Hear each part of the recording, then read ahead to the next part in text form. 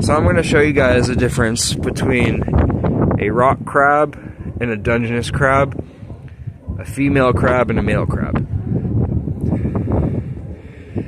These two here are rock crabs. If you can see, they have black tips. See the tip of the claw? It's black. Their shell is harder and they are more aggressive. These are both males. This one is a female. This is a Dungeness crab. It has white tips. Notice the tip is white and not black of the claws. Black tip claw, white tip claw. Dungeness, rock crab.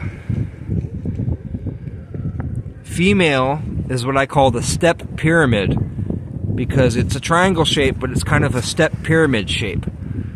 Male crab, more of a triangle, a solid, good triangle. And these are flaps, so if uh, you can bend the flap back to see if the female is pregnant it's a little hard. They are a little feisty, but you can bend that clip, that little piece back. You just kind of got to be rough with it like that. You kind of see how you bend it back.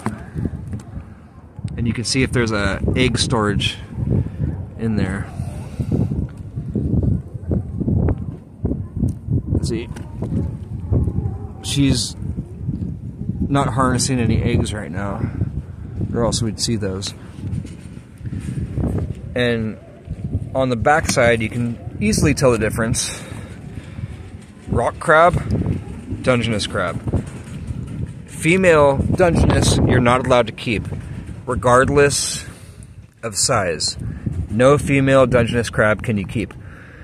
In Oregon, you can keep any size or any sex rock crab. Does not matter the size, it does not matter male or female. So these are both keepers right here.